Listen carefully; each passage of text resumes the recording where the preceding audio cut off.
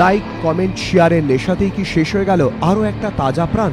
চন্দ্রকোনা রোডে ট্রেনে ধাক্কায় কলেজ ছাত্রের অকাল মৃত্যুতে ফের বড় হয়ে উঠল এই প্রশ্ন। সেলফি শিকার তালিকায় লেখা হয়ে গেল আরও একটা নাম। দেবাঞ্জন রায়, বাড়ি পশ্চিম মেদিনীপুরের চন্দ্রকোনা রোডের শঙ্করকাঁটা পঞ্চায়েত এলাকায়।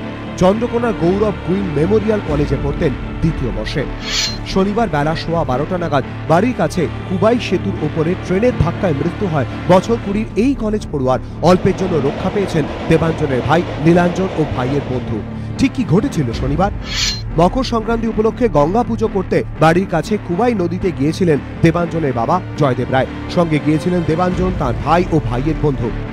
মকর সংক্রান্তির দিন এই কুবাই শ্মশান ঘাটেই চলছিল গঙ্গা পুজো। দেবাঞ্জনের বাবাই সেই গঙ্গা পুজো করছিলেন। আর এখান থেকে পুজো দেখে ফেরার সময় দুর্ঘটনা ঘটে। পুজোর মাঝে সবার অলক্ষে কুবাই সেতুতে উঠে যায় তিনজন। প্রত্যক্ষদর্শীদের দাবি সেতুতে উঠেই শুরু হয় সেলফি তোলা।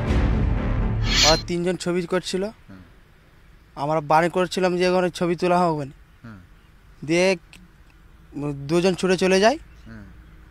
ও ছুটে আবার সামনের দিকে যায় আবার পিছন দিকে ব্যাকে যখন আসে তখন ট্রেনে ধাক্কা মেরে দেয়। টিনটা যে আসছিল সে অতটা খেয়াল করতে পারেনি।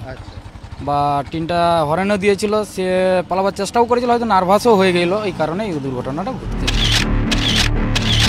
সেলফির নেশায় ভূত তিনজনে বুঝতেই পারেননি মেদিনীপুরের দিক থেকে দ্রুত গতিতে ছুটে আসছে ট্রেন।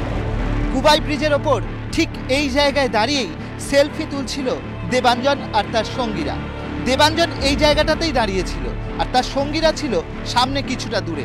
ট্রেন আওয়াজ করে আসার সঙ্গে সঙ্গে তার বন্ধুরা দৌড় দিয়ে পালিয়ে যেতে সক্ষম হলেও দেবাঞ্জন কিন্তু হতচকিত হয়ে পড়ে। সে একবার সামনে এগোয়, তারপরে পিছন দিকে ঠিক দৌড়তে শুরু করে এবং এই দৌড়তে দৌড়তে ঠিক এই জায়গাটায় এসে তাকে ধাক্কা মারে ট্রেন।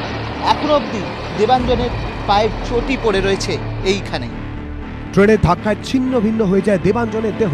অল্পের জন্য প্রাণে বেঁচে যান ভাই ও তার বন্ধু।